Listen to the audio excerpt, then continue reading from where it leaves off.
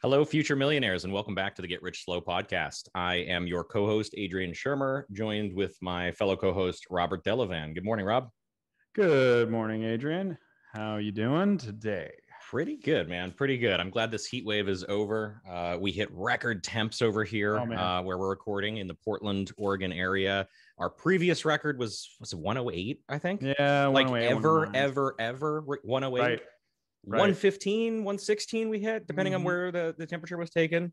Yeah. Uh, so like insane that. record heats. And now it's a, I'm so glad to see clouds. I never thought I'd say that, but I'm really stoked. Um, it's a, anyway. it's a, it's a balmy, balmy, what, 87 yesterday? Yeah. Yeah. It's a real awesome. chilly day. I had, um, had to put my sweater on. There so you go. today uh, um, we're going to chew into a pretty interesting subject and it's all about, uh, you know, doing improvements and modifying your home. And this is something that we're going to have a few more episodes with as well. We've got an interior designer who's already slotted to come in with us, but um, we're going to start kind of with a preface here. And uh, this is going to be one where it's great if you can take a look at the video, but we're going to do a nice audio description as well. But don't forget, we've got a YouTube. Um, we do record uh, ourselves as we record this. So there's a video that goes along. Um, and then occasionally, like in this episode, there's going to be some pictures. I think we'll be able to host some of these up on the website. Um, but uh, looking at these images will help kind of bring the the story together. But Rob, right. why don't you go ahead and lead us on? So uh, the idea today is you don't make expensive mistakes, right? And it all comes back That's to this concept. concept of hey i wish i would have known that before i started you know the things the, the whole idea of this podcast the get rich slow podcast is the things we wish they taught us in school the things they wish um, the professionals you know uh, could convey without us having to live and learn, which live and learn is kind of expensive. So a little pricey. yeah, just a little bit. So um, the scenario, let me paint a picture for for the audience. Is I just recently listed a house for sale. Um, super cool guy. His name's Ben. Um, I won't give last names and all that sort of thing because of uh, privacy reasons, but a super nice guy. And he wanted to list his house. He's moving out of state and needed to list his house. Uh, he needed to sell it. The market's super hot. Uh, we started having the conversation in May, and he'd done a whole bunch of things to his house. He'd lived there for 10, 12 years, done a bunch of improvements over the years. It still, though, was like a late 90s house with carpet in the master bedroom. Uh, and, you, you know, just kind of those sorts of things. The carpet had been, you know, like replaced more than once, but they'd never you know spent the money to do some different things. Mm. Uh, the value of this home was on the low end if you did basically nothing to it was 600,000. That's what we were valuing at. It's a almost 3,000 square foot home in Beaverton Beaverton area of Oregon. Um, home of Nike, close to Intel, all that yeah. for our national audience. Big campuses uh, out there. A great, you know, great neighborhood. Um, the road is a slightly, slightly busy street. We are going to do some mild adjustments, like in the 5% range for that, but it's a really big lot. He has a gate on it. So you could actually, you know, have the gate open and then go down and, and the house is set off the road. So it's kind of mitigated so that it's like 5% or less adjustment. At the low end, it was 600. Um, the high end, it was 650. And that's without doing total renovations, new construction new construction um, you know it'd be closer to like seven maybe even 725 um, but this was you know a 90s home and um, very nice and very move in ready. But the issue became like okay so where do you want to be? Do you want to be at 600 do you want to be at 650 and usually what ends up is the sweet spot and appraised value was going to be in the 625 range. We targeted 625 and the reason we targeted 625 is he figured if he did the things that we recommended, which were what he could do in a short time frame, which was replace carpet. They had pets and you know they lived on the carpet for a long time. Paint and do a few, and then like pressure wash the house, clean the roof, do gutter, you know, clean out gutters, um, mow, blow, landscape. They had to do a railing on their um, on their deck, which they didn't have because it didn't meet code. Um, just those sorts of things. He has a nephew that was a contractor um, we use some of our contractors um, to, to fill in the holes, different things. He was able to, in about a month and a half, like I said, we started talking in June, late May, early June, something like that. And we were able to list the house by uh, July. Uh, I want to say we went live July 7th, 8th, something like that. And he was able to get a whole bunch of work done. And he spent about ten, twelve thousand dollars getting all those things done. Is that time And- scale there? Sorry, I, I missed the math. How many Uh, months are we so, talking? so it, it basically took him about five, six weeks. okay. Um, he spent about ten to twelve thousand dollars, give or take, and that got him to six twenty-five. Okay, just by doing paint and doing different things. Here's the hard part. Um, we could have gotten him to six fifty at no extra cost if he hadn't made some of the mistakes that he made and hadn't been under the gun. So th- this is where I'm going to share a screen here. And for our audience, we'll describe this. But Adrian, you should be able to see a photo here. Yeah. Um, it's of a kitchen. I already see at least Um, one glaring issue that I um I always bite my tongue on this. Yep. Yep. Right there. hmm Uh, there you go. So, um, anyway, uh, I mean, describe as a non-real estate So person. beautiful. this- Uh, this is an open concept. I'm guessing that's a living room to the right or dining room. Correct. Living room. Correct. Living room. Um, So there's a nice big open room. There's plenty of windows on one side of the house here. We got the kitchen, Mm-hmm. um, a glass uh, on the cabinets. Uh, we got the bar and everything. And then Mhm. you've got a little nook uh, with the door there, so maybe you could fit a, a you know a little breakfast uh, table there. Um, and then as you get to the living room, it's it's so clear that it's the living room because there's a hard line in this hardwood floor, beautiful light wood to the left of this image where the kitchen is, and then the living room is bisected out by this.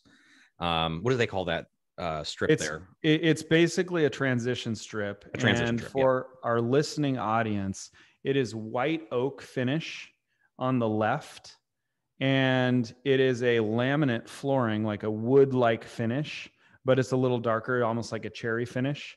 Um, on the right in the living room, yet the space is all open, and there's a transition strip on the floor.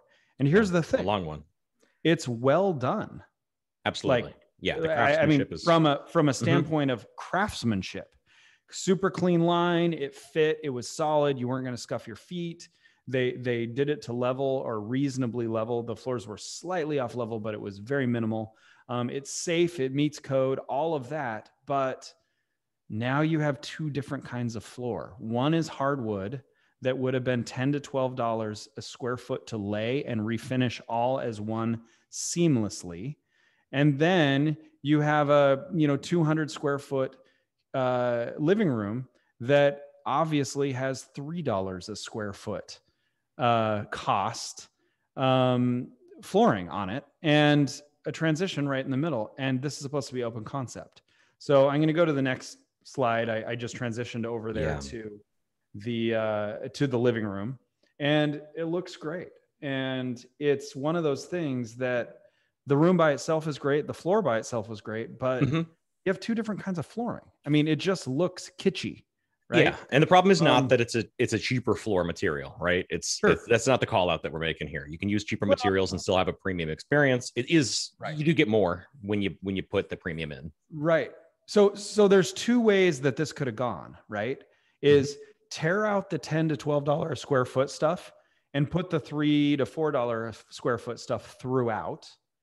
And at this price point, totally could have got away with it and would have upped the value by 10 15000 dollars of the house. Or flip side, um, run the 10 to 12 dollar square foot in there. And I mean the difference would have been you know, roughly at 200 square feet, I mean, that's expensive. Um, you're talking about, you know, Yeah. 2,500, 3,000 versus, you know, 800 to 1,200, right? I mean, it's, it's a big difference because you would have had to refinish the other floor also at the same time. Um, so, Yeah, you know, and you got to have the talking about- capital for that, which is it's its own problem. Sure, But one more time for the people in the back. I mean, option A is literally pull out the more expensive material and put the cheaper Right. one down because the continuity of space is more important in this case. Is there a bit in the back there too? Past that Yes. So Yeah. that's the thing. So now this is just a going- pa- it's an island floating in the middle of a sea of cheaper flooring. Exactly. You have nice white oak finish. You have your granite countertops, um, slab. You have your nice cabinets um, that are actually a third stained color of wood um, for our audience. And then you have a dining room on the other side that's also that cheap laminate, which, like I said, isn't a bad material and it was well laid. But this in the now we've got So- three types of wood within, I mean, an inch of Yeah, eyesight. all in, so in one view. So Yeah. here's another view by itself. This hardwood looks great. Um, the kitchen looks great, but look, you know, looking the other way. You're standing on one kind of wood and you look across and it's another. Um, so, and the kitchen by itself looks great, but again, you know, you're you're making these decisions and you saved probably fifteen hundred to twenty five hundred dollars, right? Mhm. And now, to be fair to Ben, our homeowner, he made that decision a couple years before, right? okay. yes, this wasn't a prep for sale kind of decision. so, so it wasn't necessarily a prep for sale. I mean, they were thinking, ah, I'm not going to be here forever, but it was just, it was okay with them to do this. Um, this is probably the most, you know, obvious one here, or, or one of the most obvious ones. Um, so I'm just, I'm flipping back and forth between the photos here. So they made this, this $2,500, maybe let, let's even round up to a $3,000 savings, right? And it probably translated to a ten or fifteen thousand dollar uh, flip side value on the other end because it would have categorized the main floor of this home, which is all hard surfaces, um, to a next level and Yeah. completely next level. And I've sold multiple homes this summer in this neighborhood um, within a mile or less uh, for with multiple offers and uh, we've we've gotten them bid up competitively for similar square footage 650 to 680 so i'm not talking crazy numbers here. We could have bid this up potentially if there was this was taken care of as well as one other thing. You guys have all seen it. I won't even show the picture because most of you guys are just listening. But um, they replaced the carpet and rather than spend $1500 on doing some tile in the master bathroom they continued to have the tile outside of um, in, in the master bathroom uh, for the uh, like you literally step out of the shower and you walk onto carpet. So there's no hard surface there. So people Oh, don't like that either. Deeply offensive to Um, me and my so here's the thing. He had to move didn't have a lot of time. Yeah. it wasn't gonna, it wasn't in the budget to change. So we listed the home for 625. He did the things he could change and totally followed our our instructions, did everything um, we asked of him within the time frame and the budget that allowed. And we went from 600. He spent 10 to 12 thousand dollars. We actually ended up in contract. Uh, we're going to close here in another few weeks. Um, in contract for 5k over with some nice concessions because of the market Mhm. and we were able to negotiate those and kind of push it up. We ended up at 630. So 5K over the list price, $630,000. The client is super happy, but you better believe dollars to donuts. I'm not coming at him from an attack standpoint, but he hires me to tell him things that, uh, you know, let's, let's be real. Sure. I, I'm not into having niceness contests. I'm going to be uh, in a, in a caring and sensitive way because I have a Yeah. relationship. Yeah. I told him exactly what was wrong with this house and exactly why we ended up at 630 instead of 650 and he knew exactly what to expect and that's exactly how it played out so Absolutely. i didn't i didn't um, dance around the fact that this was ideal. We just made it hey this is what we have. So that's why we priced it at 625 instead of basically we could have gone in at 650 if we could have done some of these other things. Yeah. but here's the issue. If it would have been heartbreaking and, and the biggest reason why we didn't do it number one was time because he did have to move. Um, but number two is it would have cost after the fact especially in a in a short time frame we would have had to pay our uh, uh, person a premium uh, like our contractors and that sort of thing Sure. um, yeah.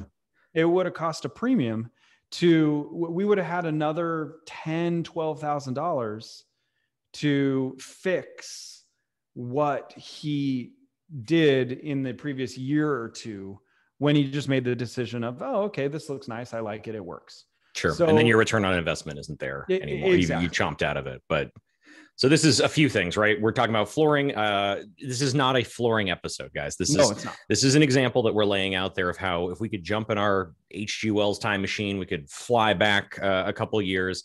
If we had put this on the table for him, not as oh, it's it's two thousand extra bucks to do this, was probably like, ah, well, I don't need that. But when you look at it in the frame of okay, what am I gonna what am I doing to the value of my house when I make these changes? Um, and I think a lot of people just don't have these conversations because they don't know who to ask, or uh, you know, I don't want to call up my real estate agent. They're going to make money on me doing this, but Right. um, a great agency. Actually, this is kind of part of the cost of doing business. We keep uh, uh, there's a there's a, a community that you have of people who trust you for advice. right. You're not going to get a check written every time you talk to them. Um, but then there's also the interior de- design component, and Sure. um, I- again, interior design. I talked to some people. It sounds like a luxury item. It sounds like the kind of thing that you get when you have so much money to spend. It's like, ah, it's like a personal shopper or something like that. We could even peel into that because personal shoppers can save you money too. But the big thing is, is that these are concepts. You know, you can go online, you can watch a YouTube video, DIY your flooring. Um, if you want to save money, there are ways to do that. We could get into the pros Right. and cons of taking on jobs. Um, but when it comes to making decisions that are going to impact the value of your home. Um, this thing is very, you know, homes are very valuable. So when you go in Right. to make a change, it's not just dollars to dollars. I spent a thousand bucks. I'm going to get a thousand bucks more when I sell my house.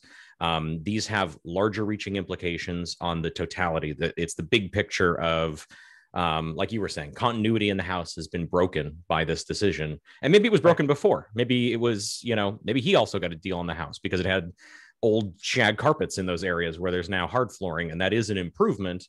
Um, Sure. But I think if you had flown back in time and told him five years ago, hey, by the way, if you spend that extra three grand and you go ahead and get this nice white ash wood all the way through, I'm going to get you another 10 to 15 when we go to get On the back this thing unloaded Exactly. because it's not going to look like it's been pieced together. And a lot of people want to Exactly. attack projects room by room, right? Right. So that's probably what happened here. Someone improved this room, that room, the other room. Right. Um, and it seems cheaper because you know when you pull up flooring and you do paint at the same time, for example, you know certain things can get cheaper.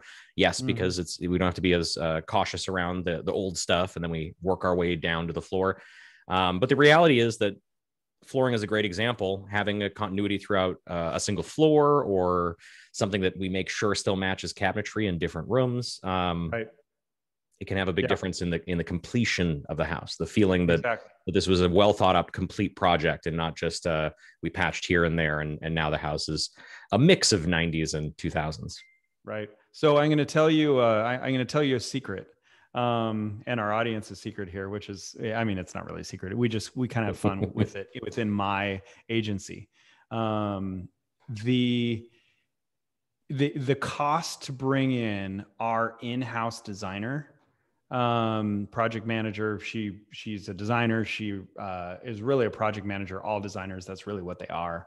Um and then from the point of picking everything uh, that matches that complements making good choices uh, making them uh, the the components fit what you're trying to do. Is this a long term? You're going to own it for 10 years and then sell it or is it you know two years so you can be a little more um, in style but you're going to sell it in a shorter period of time. All of those different concepts it would have cost probably about 500 bucks to have her go out and basically two years ago pick everything colors flooring um, tile you know all of the different things that they were thinking about doing from a color from a texture from a finish standpoint from a durability standpoint she would have picked all of that stuff for them and with them based on what they liked and, and so on um, she would have done that for probably about $500 but here's the secret okay and this is what i figured out within the real estate sales side is we don't actually call her a designer generally speaking because no one wants to pay a designer they all think that's for rich people what do i get out of right? it what do i get Yeah, rob oh, I, there's nothing physical wants- in my hands at the end of that transaction. Exactly.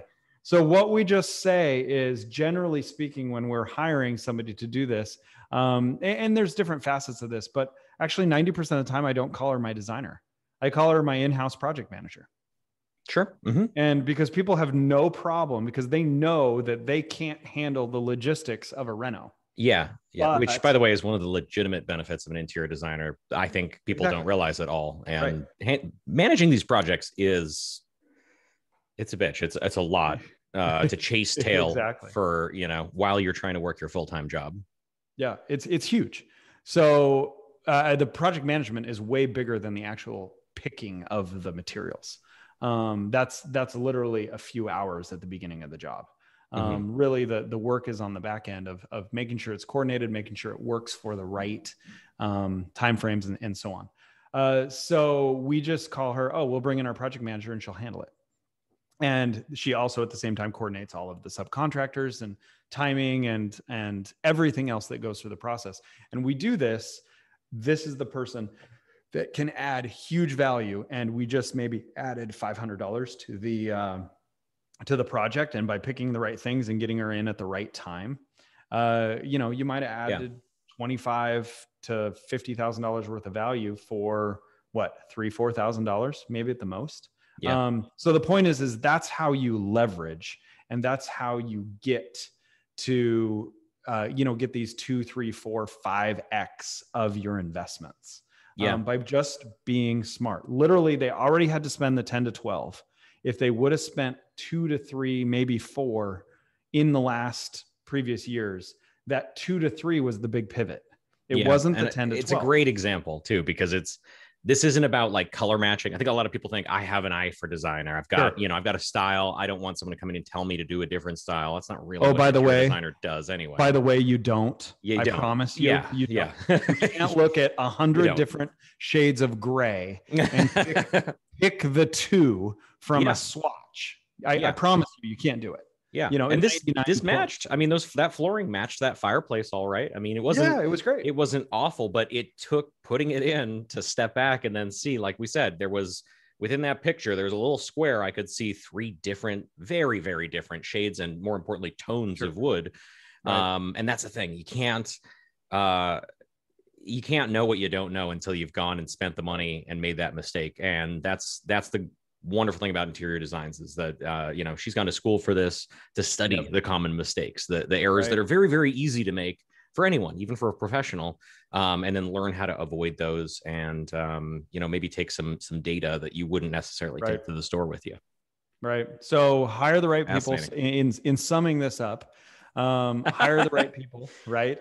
Uh, play the long game. Recurring theme for us here, yeah, Remember, we're playing check, uh, not chess. I mean, I'm Yep. sorry, not checkers. We're playing chess, and know that everyone's playing chess, even if they think they're playing checkers. It's just because they don't know they are. So Yeah. think three, four, five moves ahead, and bring in the right people. Um, make smart decisions, people. That's that's really that's really what we're asking. Come on, audience, make live deliberately.